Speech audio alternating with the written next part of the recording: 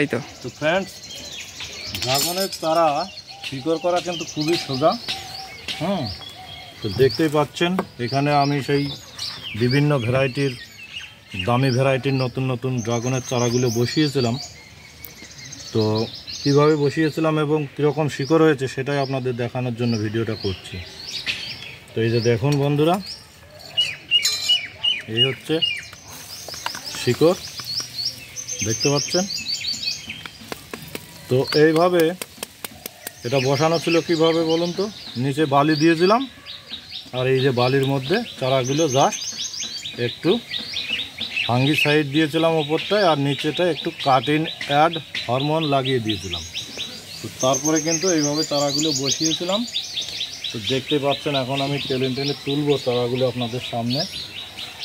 প্রত্যেকটাতে কীরকম শিকড় হয়েছে, সেটাই দেখায়। এই যে এটা হচ্ছে কস বিট দেখতে পাচ্ছেন বন্ধুরা উঠছে না। এটা হচ্ছে সেই কিষাণ মিত্র চ্যানেলের কস বিট হুম। তারপরে রয়েছে আপনার সিয়াম রেড সি ভ্যারাইটি। এগুলো সবই হাইব্রিড দামি দামি চারা। মানে বিভিন্ন ধরনের ব্র্যান্ড থাকে তাই তো? হ্যাঁ, বিভিন্ন ধরনের দামি দামি চারা এগুলো রয়েছে। তো এখন জমিতে বসাবো। তো এইভাবে আপনারা চারা কিন্তু তৈরি করবেন, খুবই সোজা। আর সব থেকে প্লাস পয়েন্ট এখানে যতগুলো চারা রয়েছে, ভালো করে ক্যামেরাম্যানকে বলব একটু দেখাতে। যেটা আমি তুলব, যে কোনো চারা।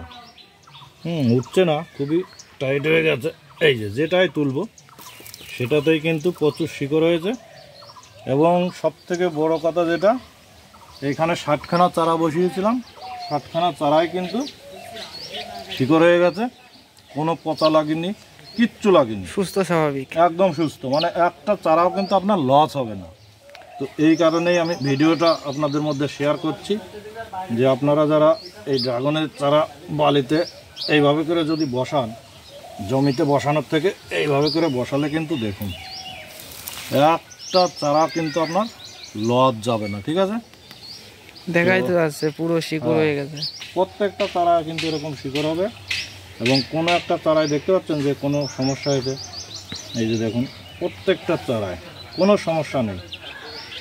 কিন্তু জমিতে বসালে এই দামি চারা ষাটখানার মধ্যে অন্তত দশখানা মরলেও কিন্তু মরতো। ঠিক আছে? তো এটাই হচ্ছে প্লাস পয়েন্ট এই যে দেখতে পাচ্ছেন কসবিট রয়েছে। বিভিন্ন ভ্যারাইটি রয়েছে। এই যে এদিকে একটা দামি ভ্যারাইটি দেখায়। এই যে, এই অটোরে বাবা। ওরে বাপরে। এ উঠছেই না তো। প্রচুর শিকড় হয়েছে। প্রচুর। বেরো। বেরো? এই দেখুন অবস্থা দেখুন শিকড়ের। হুম? ভালো করে দেখুন। এই একটা কিন্তু একদমই কমজোরি চারা ক্রসবিটের ওখান থেকে পাঠিয়েছে কিছু করার নেই। কিন্তু তবু দেখুন কত সুস্থ এবং কত সুন্দর শিকড় হয়েছে। আর এটা হয়েছে এটা হচ্ছে এই যে হাইব্রিড। হুম। হাইব্রিড রয়েছে একটা। তো আপনারা এইভাবে চারা বসাবেন। হুম। মোটামুটি একটা চারাও কিন্তু নষ্ট হবে না। তো ঠিক আছে বন্ধুরা এখানে শেষ করছি।